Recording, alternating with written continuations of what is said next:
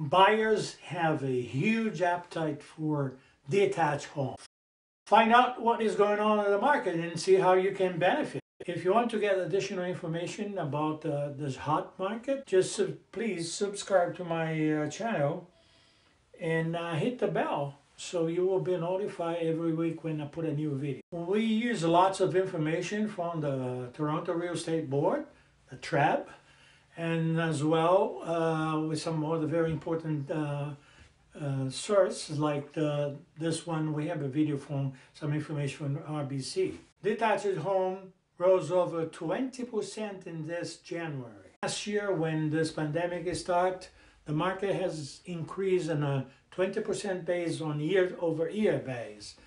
And the price of the house has been increasing every single month so far. The numbers shut up again.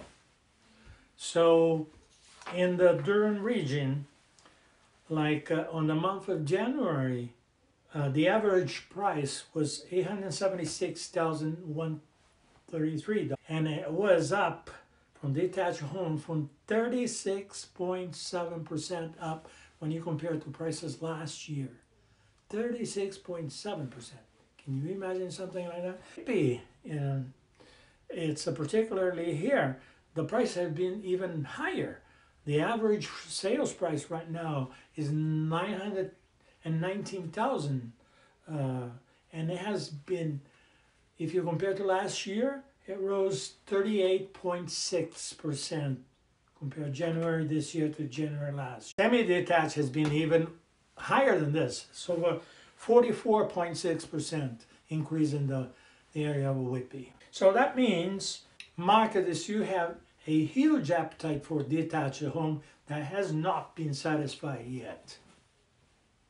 The GTA real estate market surpassed even the most optimistic forecast in 2020. So, and the trend accelerate in this uh, January 2021. Then you question why? Why this is happening? Well, number one, the mortgage interest rate have never been so low as they are right now. Number two, the inventory is very low, very low inventory. There's not enough houses in the market and there's a, like I said before, a huge appetite for detached and semi-detached houses in this area. And the third, third reason, there's a lot of people that are afraid to sell because of the conditions of the market or this COVID situation.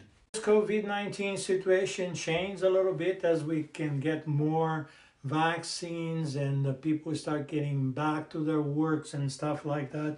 Maybe, maybe by July 2021, we could see some change in this market and then the inventory could be a little bit better. So we'll hope for that to see so it's easier for the people to buy their house. Is there a question for this? Is this a good time to buy a house? Is this a good time to sell a house? Well, if you just uh, click on the link below that I put over there, you can uh, download a PDF file that will help you out to determine if this is your case and how uh, the market is at this point. What the rest of this video with the some of the forecasts from the RBC for the whole uh, Canada, and you will understand a little bit more what I was just talking about.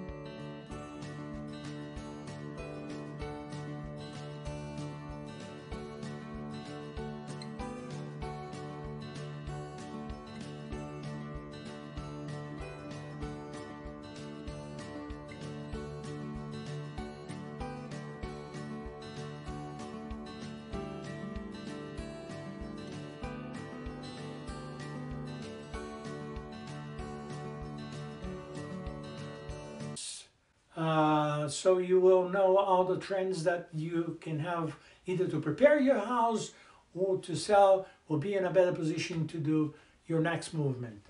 Just don't forget to subscribe my channel and uh, hit the bell so you can be notified when we have new video.